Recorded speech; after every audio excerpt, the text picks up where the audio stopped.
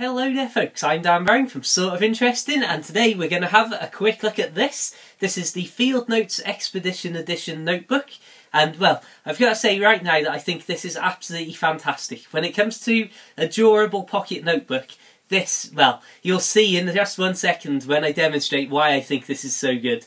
So, I've been doing a bit of writing in this, but I'm not going to show you what's in the front. Um, I will give you a quick demonstration of how different inks take to the paper. Uh, we have got, obviously, our Field Notes book. Uh, we've got a few different pens to test. Uh, Cross Century Classic Black and 23 Karat Gold. Uh, Field Notes pencil. Field Notes pen, of course. Uh, removed by friction uh, Pilot highlighter. And, of course, Parker IM fountain pen. And, well, we'll see how they take. And then we have got a glass of water. Well, of course, we need to do the waterproof test, but just dive in and have a look at this. Right, we'll just have a closer look here. Um, I don't know if the camera really picks up just how bright day glow orange this is, um, but I don't know as well if you can see the detail on the cover. That's also on the orange, but the camera seems to have really a lot of difficulty picking that up. And if we move to the centre pages there, you'll see this is a basic dot grid uh, layout. And I'm a big fan of dot grids, as you may know I love to write on uh, plain paper as much as I can. So this is Yupo synthetic paper, and don't worry, I've no idea what that is either, but it means that it's waterproof and tearproof, and when I show you the tearproof, you'll probably be amazed, because I certainly was. So if we dive in first of all with uh, Field Notes pencil, see how these take. Obviously that instantly takes to the paper, and it still rubs out as usual. Uh, Field Notes Biro, once again that's instantly dry pretty much.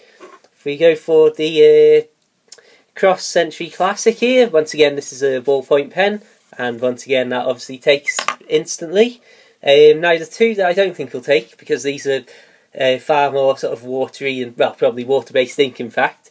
Uh, the Biro here, uh, the highlighter rather, and yeah, well, you can see pretty much there just how much that is um, not drying. And of course, the uh, Parker IM.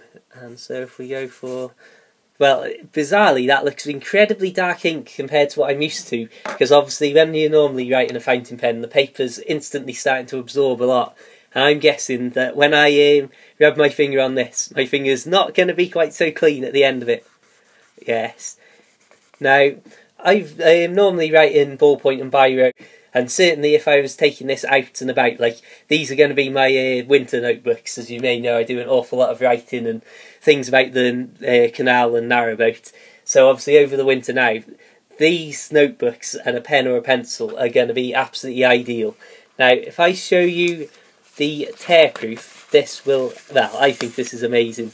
Right then, so Got a good um, section here, and I'm going to put all my force into it.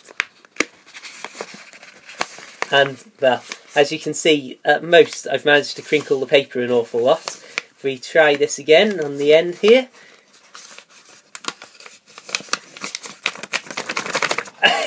as you can see, the paper may be crinkled and creased, but it is absolutely not torn.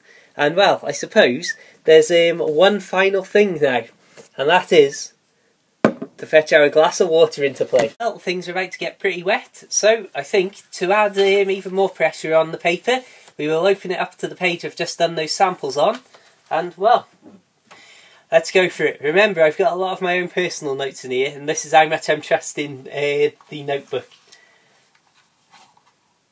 As you can see, we've got a good old, um, well, soaking glass is in fact almost overflowing. Better be careful with that. And if we pop this up now the paper is still feeling pretty much exactly as it is just a little bit colder and obviously damper. And if I can fetch this across here you can see it hasn't really absorbed anything and the water's just running off the surface. But um, well if we go over the pencil and the biro ink and well that pretty much sums it up still absolutely perfect the pages are still absolutely rock solid. You can see just how much effort I've been putting in to try and rip that there. And, well, like I say, the most you can manage is a crinkle. And obviously, when you're out and about in the well real life situations, you're unlikely to be putting this um, paper under that much pressure. So yeah, that is the Field Notes Expedition Edition, which amazingly already seems from just shaking to be drying off. I'll say thank you very much for watching. Um, check out my other videos, I've got a load more field note stuff, a load more notebooks and organisers, filofaxes, um, lovely little Midori um, setup as well. So anyway, thank you very much for watching, subscribe, like the Facebook page, and I'll see you around soon. Farewell.